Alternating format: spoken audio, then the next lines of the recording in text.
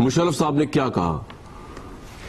George Charan को। हाँ। He came to my hotel George Charan आया आपके पास अभी आपको नहीं पता क्या मवाद लेके आ रहे हैं? अच्छा। उसने आराम से ब्रीफ केस उठाया। जॉर्ज चरण ने हाँ। सीआईए चीफ खोला एक फ़ाइल निकाली। अच्छा।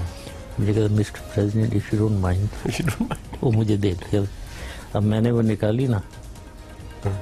सेंट्रीफ्यूज तस्वीरें अच्छा। सिग्नेचर्स डॉक्टर कदीर के। नंबर इतना पुलंदा तस्वीरें इनके साथ इनका एक खास आदमी था कोई। अब मैं उसे देख रहा हूँ सारी प्रूफ और मैं मैंने कहा मैं क्या क्या बताऊँ मैं इसको अब?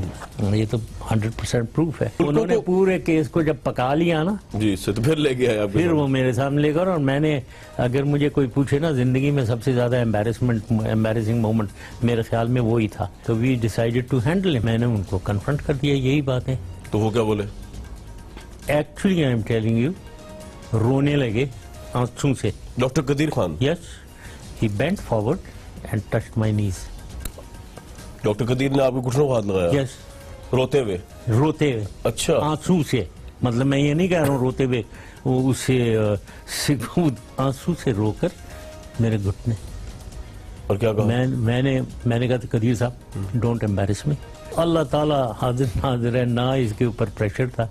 वो खुद इतना शर्मिंदा एक आदमी रो रहा है और मेरे घुटनों को हाथ लगा रहा है तो मैंने क्या उसको प्रेशराइज करना था? उसके बाद question was to protect this man वो डिमांड हो रहे थे कि इसको दो। जॉर्ज डब्ल्यू बुश क्या चाह रहे थे? डॉक्टर कदीर को उनके हवाले कर दिया जाए। यस मैंने कहा no we will not hand over मैं तो बड़ा स्टैंड दिया, देखो। और ये मेरे खिलाफ बोलता है तो मुझे अफसोस